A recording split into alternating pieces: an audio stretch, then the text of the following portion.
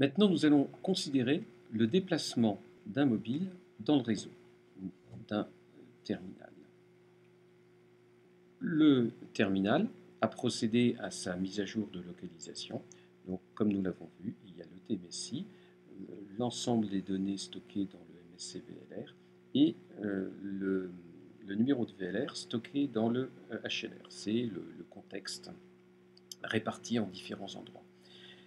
Si le mobile se déplace, euh, passe d'une cellule à l'autre, eh bien, si les deux cellules font partie de la même zone de localisation, ce qui est notre hypothèse ici, puisqu'on a supposé que ces trois cellules entourées en gris font partie de la même zone de localisation, eh bien, le mobile se met à surveiller une autre voie balise, mais ne n'engendre aucune signalisation vers le réseau. Il reste tout à fait silencieux. Donc, dans le cas où le mobile passe de la première cellule à la deuxième cellule, de la deuxième cellule à la troisième cellule, le point important, c'est qu'il ne se passe rien. Voyons euh, maintenant le cas où le mobile se trouve, le terminal se trouve donc dans la cellule que je vais appeler 3 et passe dans les cellules 4 et la cellule 3 et la cellule 4 font partie de deux zones de localisation différentes puisque 3 est rattaché à la zone de localisation 0.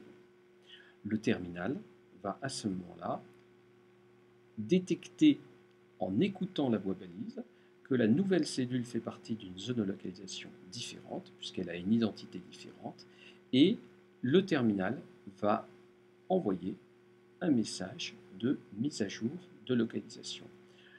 Ce euh, message, qui s'appelle MM Location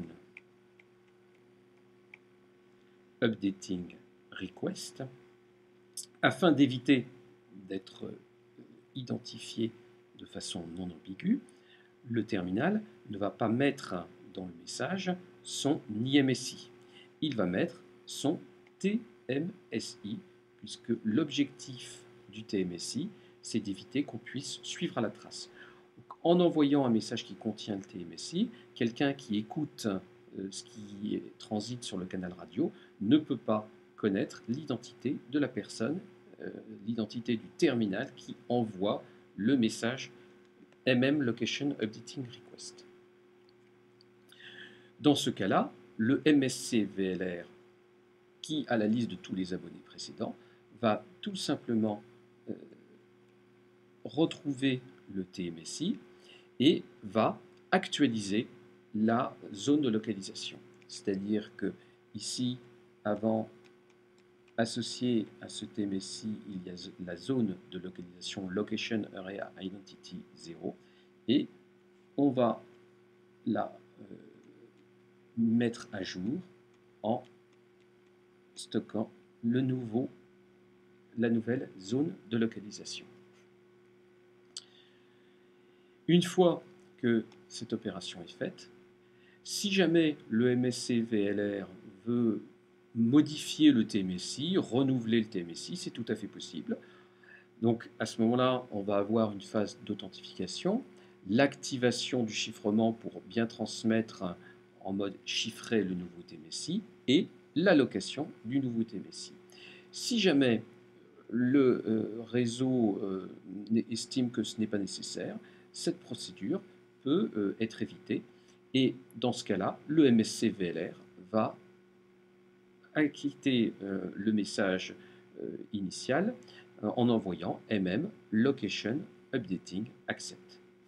À l'issue de la procédure, la zone de localisation qui est stockée par le MSC VLR1 n'est plus la zone 0, mais la zone 1.